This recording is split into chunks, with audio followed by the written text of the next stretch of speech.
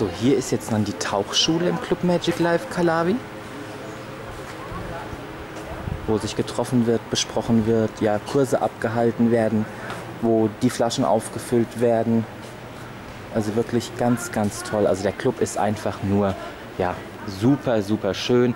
Hier ist das Ganze dann nochmal in verschiedenen Zonen aufgeteilt. Einmal in selbstständige Taucher, dann in das Hausriff hier. Und ja, hier wird einem geholfen bei allen Fragen.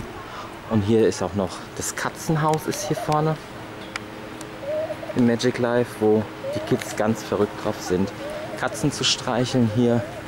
Dann ist hier auch gleich die Quad-Station, wo man sich Quads ausleihen kann und hier einfach ja, durch die Gegend düsen kann mit den Quads.